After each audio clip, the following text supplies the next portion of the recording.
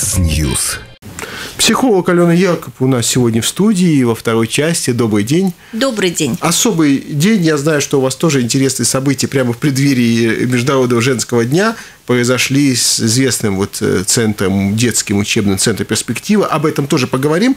Но поскольку все-таки сегодня 8 марта, все-таки такой вопрос к вам, как психологу. Как вот, я не знаю, этот праздник, сначала я вас прошу, должны воспринимать женщины? Потому что, ну, есть разные, есть политическое объяснение, мы все его знаем, там день борьбы за равноправие женщин. Не знаю, насколько равноправие тема актуальная для Латвии. Э, есть э, второе объяснение, что просто в этот день, ну, не знаю, женщины хотят побыть женщинами, они рады, что к ним такое внимание. Ну, есть и такая другая концепция, что, не знаю, что 8 марта – это такое просто напоминание, в том числе и мужчинам, что надо как-то обращать внимание на женщин, беречь и заботиться о них не только 8 марта. Вот э, какой вот, как бы вы этот, с такой психологической точки зрения охарактеризовали бы этот праздник? Ну, вы знаете, здесь можно рассматривать э, со стороны всех трех концепций, которые вы предложили. Ну, во-первых, сто лет назад мы не имели права выходить самостоятельно из дома, поступать, идти работать, учиться. И вообще без ведения мужчины мы не имели права практически ничего, мы были очень ограничены в правах. Сейчас это кажется чем-то таким невероятным. А да? сегодня мы читаем, что Латвия э, э, является страной, где самое, одно из самых больших равноправий между мужчин и женщин. Конечно, не зная, как было тогда, сегодня нам кажется это немножко так непонятным. Ну, наверное, можно порадоваться, что э, с точки зрения свободы женщина человек свободный. Это уже приятно не будем рассматривать другие контексты да. наших э, другие стороны нашей жизни. Э, с точки зрения праздника ради праздника, знаете, любой праздник хорош. В этом празднике было много политики раньше. Но сейчас политика ушла на второй план. Сейчас просто мужчины поздравляют просто женщин просто с красивым праздником весны. И называется он «Женский день». Так же самое, как прекрасный есть День матери, так же самое есть, как другие прекрасные праздники. Пусть будет женский день. Женщины красивые, нарядные, цветы продаются, цветы получаются. Прекрасно. Почему вот так нет? нужно это воспринимать, так, в принципе. Спокойно. Один праздничный день, еще один. Только для нас. И самое интересное, что женщины сейчас поздравляют друг друга. Девочки с праздником нас. Да, не нужно ждать, пока тебя мужчины поздравят. И это абсолютно не обязательно.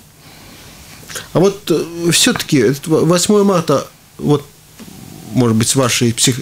с точки зрения как психолога, угу. он как-то вот меняет мужчин? Конечно, они собираются так же само, как и любой другой праздник, консолидируются, начинают думать. Я вот смотрю по своим мужчинам, те, которые дома, да. даже как бы домашние есть мужчины, есть мужчины, которые в социуме. Да. Домашние мужчины что-то там шуршукаются по углам. Это как... тоже хорошо, да. мобилизуются, понимают, да. что надо как-то вот порадовать да, женщину. Что-то да, что-то там придумывают. Э, те мужчины, которые вне дома, просто улыбаются, просто говорят хорошие слова. Кто-то считает нужным, может подарить цветочки. Э, это просто праздник и просто мобилизация, когда мужчины обращают внимание на женщин. Женщины вспоминают, что они женщины. И лишний раз, вот как сегодня хотелось одеть туфельки на каблучках и платьица, а одели ботиночки и брючки, и ничего, и тоже праздник. Тоже праздник. И ну, тоже праздник. Специфика нашей погоды да. дает знать. Да. да. Хотя сейчас все вот эти вот попытки все, не знаю, унифицировать, мне кажется, как-то уже в другую крайность, да, вот э, родитель номер один, родитель номер два как-то. Ой, давайте, а можно сегодня не об этой теме? Вот. Да, давайте сегодня о празднике. Вот именно. Наверное, замечательно, когда у тебя просто есть родитель, хоть неважно под каким номером, и в этом тоже есть свое счастье, потому что, если смотреть в контексте, если у тебя нет родителей. Но с точки зрения пока что сегодняшней нашей э, реальности и нашего, нашей ментальности и восприятия э, гендерных ролей, э, пусть у нас будет сегодня папа и мама. Вот замечательно, папа и мама и дети – И вот как раз я знаю, что в Юрмале открылся вот центр «Перспектива». Я думаю, многие радиослушатели знают, что есть такой детский учебный центр в Риге на Кришенбарне, теперь в Юрмале. Почему? Вы расширяете географию, потому что действительно есть потребность и для э, жителей Юрмалы, или для приезжающих в Юрмалу? Да, вот по просьбам родителей, по просьбам жителей Юрмалы мы открываем центр «Перспектива» в Юрмале. Они э, уже много лет нам говорят, когда же вы наконец доедете до Юрмалы. И в этом году случилось такое замечательное событие. 4 марта мы э, очень скромно, тихо, э, как мы любим, камерно открыли первую группу. Э, туда пришли совсем малыши с двух с половиной лет. Занятия все проводятся на английском языке, но география наших... По-современному. Да, география наших занятий будет расширяться. Спасибо вам большое, что отметили это событие. Для нас это действительно важно. И так, такая же перспектива в полном объеме будет работать в Юрмале и сейчас набирает обороты. Да, вот вы сказали, э, совсем малыши двух с половиной лет. Вот у родителей часто, особенно у родителей, которые еще молодые родители, может быть, нет такого опыта, э, им кажется, что иногда, может быть, до трех лет рано и в детский сад, тем более на такую группу. Или два с половиной в три годика э, самое то. Очень индивидуально. Вы знаете, это должна решить мама, потому что все зависит от ребенка, от того, насколько мама готова. А ничего, что сразу на английском? Э, просьба родителей. И для детей на самом деле все равно, потому что детки очень хорошо воспринимают не столько чужой язык или другой язык, сколько отношения. Если ребенка правильно расположить, он будет расположен к языку и к восприятию. И, конечно же, только я хочу попросить родителей и предложить им не спешить с опережением развития. То есть ребенку то, что положено, это же говорят и ученые, и, уч- да? и учителя, что ребенок в каждом возрасте должен взять свой объем знаний, навыков и то умений. не надо в три годика требовать то, что он должен сделать пять лет. Вы знаете, да? если он, ребенок в три с половиной года знает все буквы, это не, абсолютно еще не значит, что к семи он будет с удовольствием читать скажем так, да, то есть эти знания ему могут просто не пригодиться. Главное, чтобы он к 6, к 7 годам научился читать, но в 3 года ему буквы знать совсем не обязательно. Это не мешает ни в коем случае не лишнее, но это, знаете, как вот говорят, что не надо форсировать развитие, опережать, это просто не нужно. Это то же самое, наверное, другая тема, но тоже, наверное, связана с этим, когда пытается, э, я так понимаю, пока эта попытка политиками не поддержана, но я думаю, что к этой идее еще будет возвращаться обязательно в школу 6 лет. Почему? Ну, не все же дети одинаковые, и, наверное, вы по этой, этим группам развития тоже видите, что кому-то в 6 лет вполне можно уже идти первый класс, а кому-то еще нет. Школы надо перестраивать, чтобы детей взять с 6 лет. Потому что для детей 6 лет нужна другая среда внутри школы должна быть другая среда. Да. Можно из трех их взять и назвать, что дети ходят в школу с трех года, да, но среда должна быть другая. Вот и все. Здесь все очень просто. И объем э, подаваемой информации, и вся структура урока должна будет просто быть перестроена. Так что можем брать из пяти, можно брать из четырех. А вот те дети, которые ходят, вот, ну, по крайней мере, в Юмале только началось, а в Риге у вас уже есть опыт, столько детей уже прошло перед вашими глазами и глазами ваших коллег, они какие-то другие, они более подготовленные, не знаю, к социуму, к школе, если они еще дошкольного возраста. Знаете, не хочется э, так хвалить Нет, ну, себя, но да, тем ну, не менее... Вообще, де... что вы пытаетесь, может быть, так я поставлю вопрос, ну, что вы им пытаетесь привить, да, вот какие там э, навыки? Ребенок должен к, к школе уметь слышать, выполнять э, просьбы, анализировать, э, и донести просьбу. Он должен сказать, что он хочет или что он не хочет. Это во-первых. То есть это что касается социума. Он должен уметь коммуницировать с другими детьми и со взрослыми. Э, наша задача стоит такая, чтобы мы полностью подготовили ребенка к школе согласно программы подготовки к школе. Но что приятно отметить, что наши детки уходят и во второй класс, э, минуя первый. Что приятно Даже ответить, так? да, что у нас есть девочки, которые ушли э, в школу Экзюпери, и там по математике они ушли во второй, в третий класс там своя система, то есть ребенок не сидит полностью, а по знаниям, навыкам и умений. Хотя это довольно сильная школа, да? Да, это сильная школа, и мамы пришли и сказали, представляете, вот мы такие, вот у нас подвижки, и мы очень рады. Мы у себя усиленно развиваем направление математическое для детей. Э, первый, второй, третий класс. У нас есть такая студия «Орешки» называется – Вот, потому что если ребенок научится логически мыслить, искать ответ и не бояться искать различные решения, то он будет успевать не только по математике, но и по всем предметам. Потому что математика – это такое «я могу». Я могу решить задачу. То есть это прежде всего уверенность в себе, что я есть здесь, и я решаю эту задачу. И я не должен сдаваться. Это очень хороший такой навык, хороший. который прививается через э, простые математические упражнения. Угу. Вот э, что касается э, школьников, ведь э, есть и те, которые уже ходят в школу, и они посещают вот ваш центр, и в Риге, видимо, в Юрмале тоже. Э, что там? Там вы уже, наверное, пытаетесь, не знаю, как-то исправить какие-то нюансы поведения, может быть, коррекцию и решить те проблемы, которые у ребенка возникли в школе. Чаще всего, когда ребенок ходит в школу, ну, может быть, как сказать, как на каторгу, это может быть совсем грубо, но, ну, мягко говоря, вот э, потому что, ну, вот надо – очень не хочется, но надо. Вы знаете, конечно же, мы в центре, так как у нас работает целая команда специалистов, можем э, и занимаемся коррекцией поведения. Но прежде всего мы начинаем с того, что мы делаем такой анализ, что, что происходит на самом деле с ребенком. И, э, как правило, не всегда от, родители уже отказ могут от, разобраться. Да, да отказ от учебы, как правило, это какие-то конфликтные ситуации, которые ребенок Конечно. не в состоянии решить сам, а взрослый по каким-либо причинам не видит. И получается такой немножко замкнутый круг. Ты должен, я не хочу. Ты обязан, я не могу. И получается тупик, начинается конфликт да, и чтобы избежать этих конфликтов. Ну, Но это можно да. скорректировать, да? Конечно, это можно скорректировать, если занять абсолютно открытую позицию. Мы находим то, что есть, и работаем тем, что есть.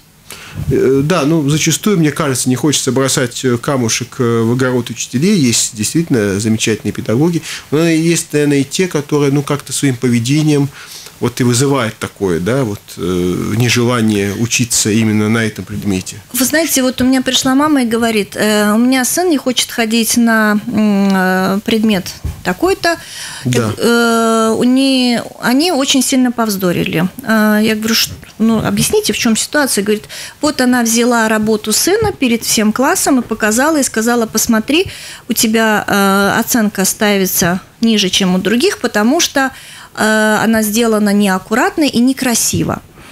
А мама говорит, вы знаете, ну я ему сказала, сделай сам эту работу. Как ты можешь, так и сделай. Говорит, я не помогала и не принимала участие в этой работе. Говорит, наверное, я плохая мать, что я не сделала за него эту работу. Да. Чаще всего мы знаем, кто делает домашнее Потому задание. Потому что, говорит, да. это был проект, и все дети принесли красивые распечатанные на компьютере проекты с картинками, с описаниями, а он там своей рукой что-то написал, что-то там наклеил, что-то там вырезал. Говорит, и как быть в этой ситуации? Вы знаете, кроме того, что, ну, и эта учительница, других слов просто не нашлось, да, потому что с педагогической точки зрения, если ты увидел, что ребенок что-то сделал сам своими руками, ты, ты должен похвалить. Ты должен сказать, смотрите, какой он молодец, он сделал что-то сам. Да, а не на принтере распечатал, да. да. Ну, даже если на принтере, ну, все равно отметить, что ребенок делал сам. То есть, а вот не ругать его за это, да.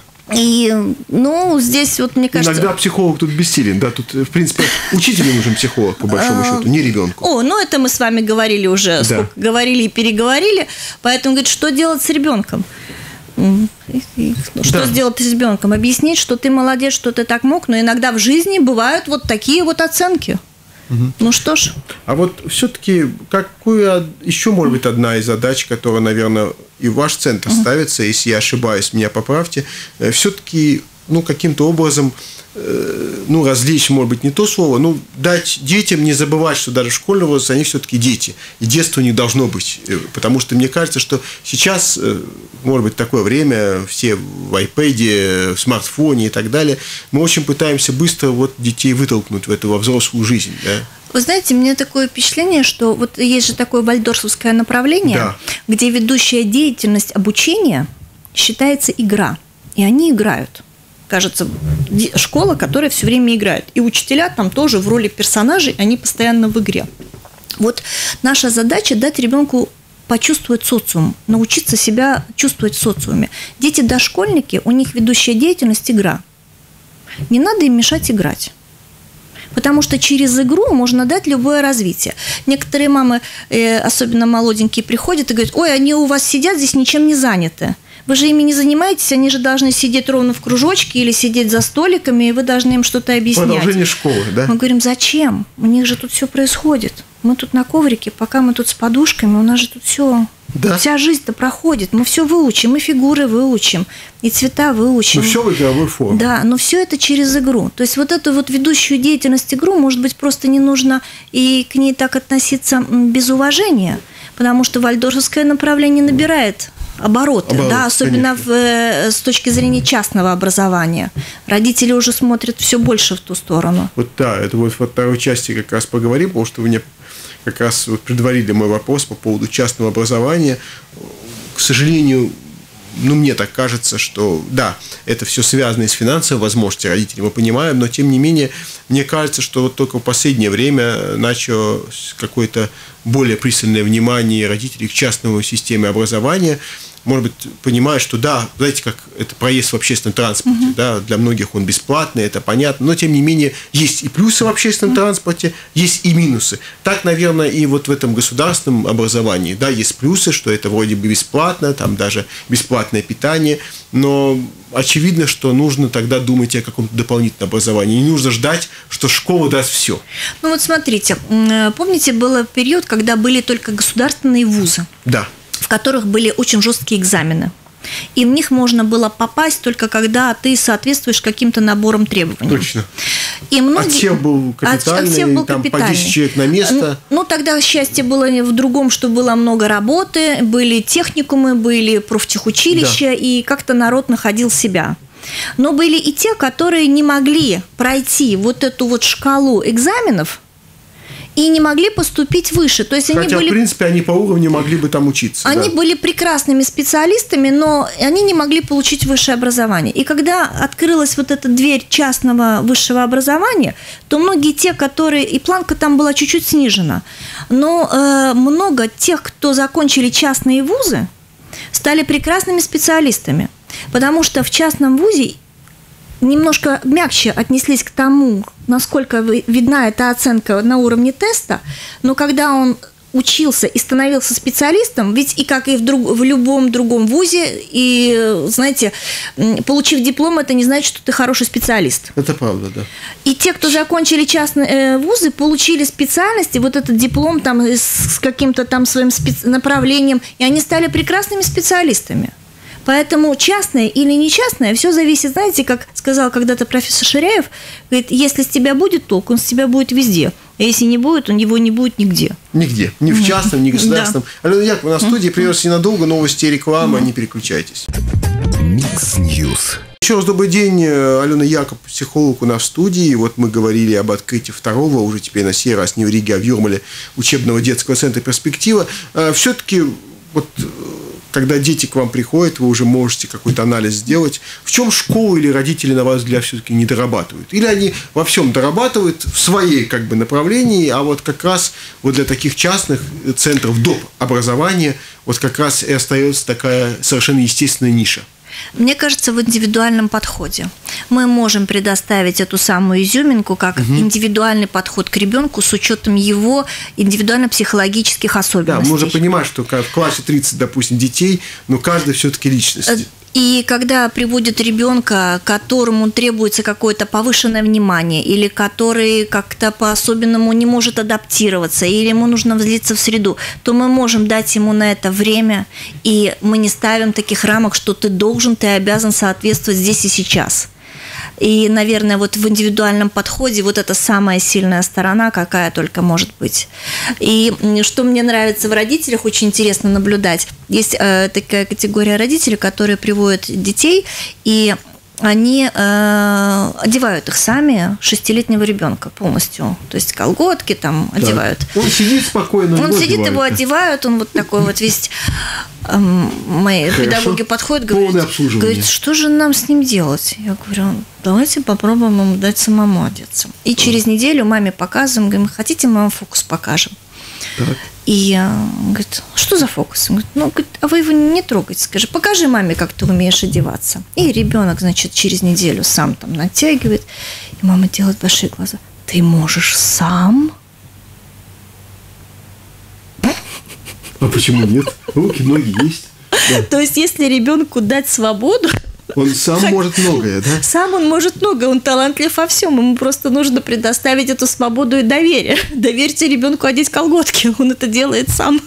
Вот тоже такой вопрос, который не могу не задать. Вот я наблюдая за знакомыми, родителями, каждый по-своему борется с пристрастием детей к гаджетам современным, да. Одни говорят, там, я ему там даю не больше, там, не знаю, полчаса в день, два часа в день, или только по выходным, или только, не знаю, по вечерам, или только телефон, чтобы глаза не испортил, только iPad. Другие говорят, вообще там отнимаю, там ругаю с ним. Другие говорят, не, я его не трогаю, я могу что-то поделать, пускай он там посидит в своем этом. А что делать вообще в этой ситуации? Ну, вот в вашем центре вряд ли... э, Зона свободна от гаджетов. Вот. Даже на каникулах. Ей правила корзинки. Э, Что делать? Ну, если очень серьезно подходить, то ребенку, конечно же, как можно дольше нужно оградить от гаджетов, если в этом нет прямой необходимости. С другой стороны, мы живем в 21 веке, когда гаджеты стали частью нашей жизни. Если показать ребенку, что в этих гаджетах есть что-то полезное и развивающее, и, и ему приносящее пользу, Вот так сфокусировать Да, это. то есть- Не отбирать со скандалом, да? Э, На начальном уровне что? Мы можем поставить какие-то развивающие английский, э, обучение буковки, обучение чтению. Там же столько сейчас программ стало. Все это очень интересно, красочно. Если родитель будет смотреть, что он показывает ребенку, как он это делает, и через то, что он контролирует, то есть шанс, что к 9 годам ребенок все-таки не будет зависать. Но для этого у ребенка должно быть много других нравится, в которых он включен. Если у ребенка не будет другого нравиться, то, чем он занят, и родитель не будет ребенка приглашать в свое нравится, смотри, мы вместе можем что-то делать, что нам двоим интересно, то, конечно, ребенок будет уходить в эту среду. И, конечно, мы не знаем на самом деле, что происходит в этой среде. И, конечно, эта среда достаточно небезопасна для детей. Да. Ну, это может быть отдельная тема. Но вот еще говоря вот о развитии ребенка, вот, э, к примеру, понятно, что приходят к вам разные дети и разных возрастов, и разных интересов. И, наверное, может быть, ну, мне так кажется, все-таки ну, разной э, как бы направленности, как мы говорим, есть те, которые вот э, на математику, у них более сильная сторона, есть такие чистые гуманитарии. Можете дополнительное образование, не знаю, как-то помочь или выявить вот эти вещи, потому что мы знаем сейчас во многих школах уже со следующего учебного года, даже с пятого класса уже будет определенная специализация, там математика, языки, другие направления. Вы знаете, мне кажется, я не хочу никого не ограждать о том, что у ребенка есть какие-то свои определенные наклонности, Да. но примерно до четвертого класса, а может быть даже и старше, нужно, нужно пытаться развивать все, Все. направления. И хуже не будет. Не будет, потому что они не столь сложные, но научить ребенка слышать и анализировать текст поможет в жизни вообще слышать мир. Научить ребенка видеть математику и строить логические цепочки поможет ему в жизни строить логические цепочки. Научить ребенка обществознанию и при- природоведению и окружающему миру поможет ему лучше понимать, что вообще происходит с ним Даже в природе. музыка в какой-то степени. Музыка очень хорошо будет развивать память. Да. Пение будет замечательно питать мозг кислородом. Не зря говорят, что пение до 9, до 9, до 9 лет должно быть обязательное пение. Да, то есть хоровики говорят, давайте нам детей, пусть они поют. В этом же нет ничего плохого. А, Кстати, пение не полезно и музыка не только в начальной школе, но и Да? дальше. Потому что уже чем дальше, Да. тем как-то более скептически к этому Да, по- относятся и дети, поэтому, родители. э, конечно же, ничего страшного нет то, что предлагают сейчас новые вот эти направления. Но тем не менее развивать надо во всех направлениях, если есть такое. Есть, конечно, дети, которые очень хорошо чувствуют ритм. Но если ребенок не чувствует ритм, наоборот, дай ты ему, помоги ты ему включиться в этот ритм. Дай ему- Они, говорят, они махают рукой, что Да. ладно, значит не его. да, ничего страшного в этом нету. В общем, вы знаете, мне кажется, что каждый ребенок талантлив по-своему. Каждого можно и нужно развивать во всех областях, а куда выстрелит, туда выстрелит. Да. Вот э, что касается э, вот, э, Центра перспективы в Юрмале, все-таки, как вам кажется, вот что движет родителями, когда они вот отдают на это дополнительное образование? Ну, хорошо, летом каникулы – это отдельная история, да? Ну, не только летом вот работает, по крайней мере, в Риге, я так понимаю, круглогодично же работает ваше да. дополнительное образование. Может, есть у многих родителей такое представление, ой, ну, как сегодня дети же загружены, мы там знаем, столько у них уроков, еще домашнее задание, куда там еще дополнительно заниматься? Заниматься. На самом деле, как раз очень даже полезно, да? Знаете, родителями движет э, то, что ребенок должен быть образованным и думающим. Родителям движет вот это желание дать ребенку как можно больше и шире кругозор, чтобы он в этом мире был успешен. Родителя толкает вот этот, наверное, собственный опыт, который родитель прошел, или наоборот с понимания своих ошибок, которые он, он что-то не доделал, поэтому и стараются отдавать ребенка, и поэтому вот есть вот эти родители, которые хотят опережать развитие, дать как можно больше всего. Ребенку на самом деле нужно давать языки. Вот сегодняшний век – это век языков. Если ребенок будет знать несколько языков, он научится социуму. Самое главное для ребенка научиться социали... социуму, чтобы он умел общаться в среде не только взрослых, но и детей. И как есть такие родители, которые говорят, мы привели вам, нам не нужно образование, не нужно чему учиться, мы привезли, чтобы он просто играл со сверстниками. Может быть, тоже неплохо.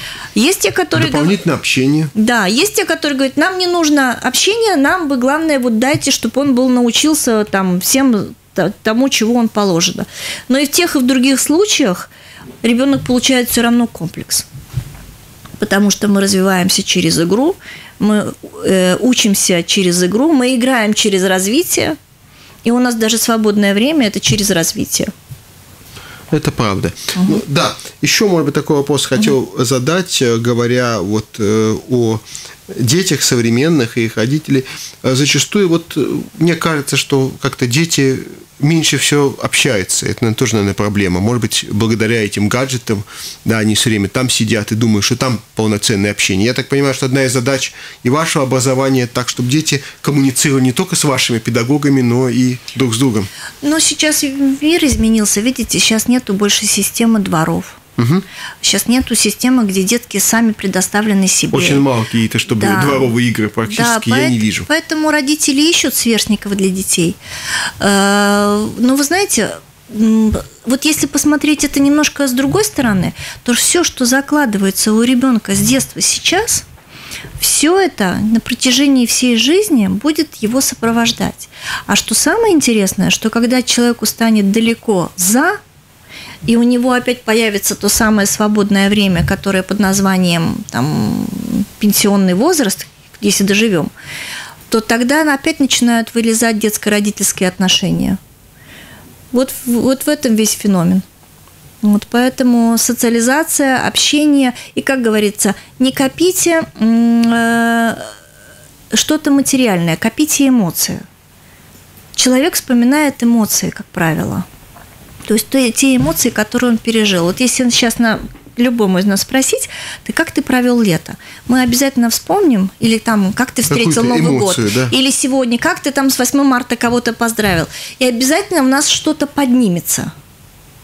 И вот через вот эту вот эмоцию мы запомним скорее эмоцию, чем какие-то другие антуражи. Мы можем не вспомнить, какие цветочки мы подарили, но мы вспомним те эмоции, которые были.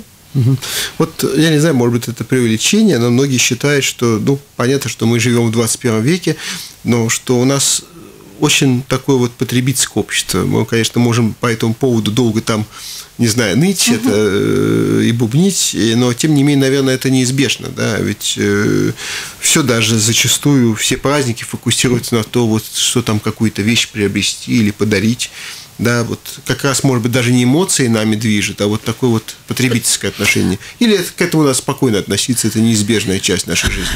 Вы знаете, была такая замечательная статья, в которой рассказывалось о поколении снежинок. Угу. Вот сейчас новое название вот этих молодых людей – это поколение снежинок, которые точно знают, что они хотят.